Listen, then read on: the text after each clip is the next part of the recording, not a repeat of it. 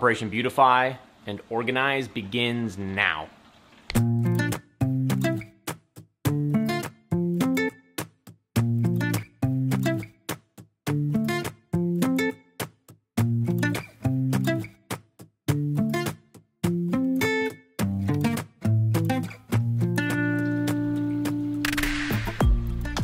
Haven't decided where to put the board yet. I really have two options. I could put it on the wall over here, which makes sense because it's kind of where all the wires are, or I could put it on this section right here, and maybe I could use it for both this tank and the next tank. I don't know. I'm gonna flip this around, show you both options, and you just make a mental note of which one you think looks best, and let's see if my aesthetic sense matches yours or not.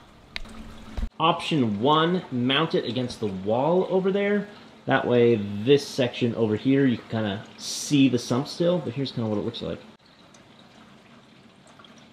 Option two, mount it to the edge of the stand. I'd probably raise it up a little bit. This MD Elite control board, this is the basic one, uh, it's really heavy duty, and it's made of a kind of PVC, I think. It drills really easily, but I still just don't want to screw it up. So I'm gonna do a mock-up first. One more thing, if you could do us a favor, hit that subscribe button down below.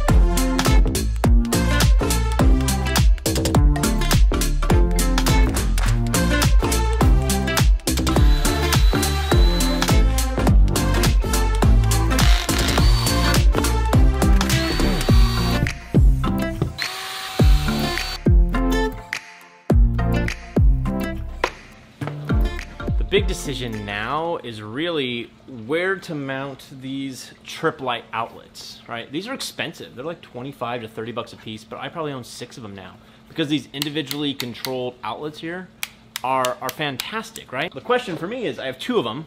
Do I put them both on the front or do I only need to be able to access like some of my equipment so that I can put some of them on the back. But I also just purchased this. There's four of them. I actually own eight of them now. And they are my new absolute favorite aquarium controller. This four pack costs $24, like with tax and shipping. you might be wondering what they do. Let me show you what they do and why they're so amazing. Here, ready? Watch, watch, watch right here, ready? Six bucks. Not only can you turn them on and off on Wi-Fi, but you can set them on a schedule. All they are are these super tiny smart outlets that you can just turn on and off with your phone and you can also set them on like schedules and timers. So I'm gonna use these for like my lights, my protein skimmer, my refugium light. So this really makes me wonder, you know, how many of these outlets, how many of my Tripp Lites do I actually need to have on the front versus on the back?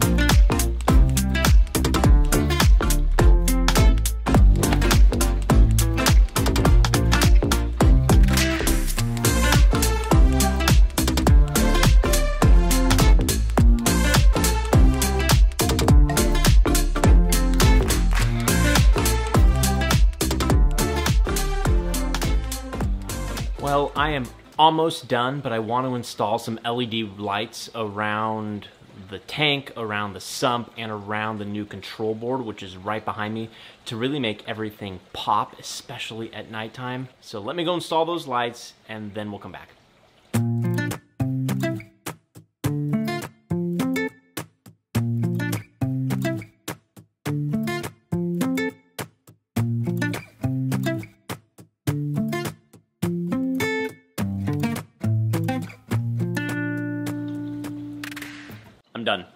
Took 14 hours, but I think it turned out just really clean and really rather fantastic. So it's time for the mandatory before and after picks. If you could do us a favor, if you like this video, hit that subscribe button down below.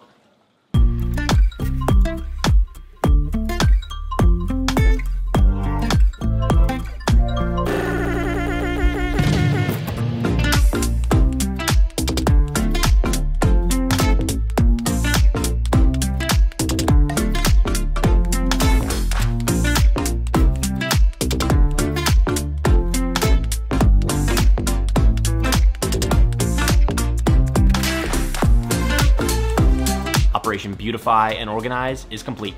Happy reefing, everyone.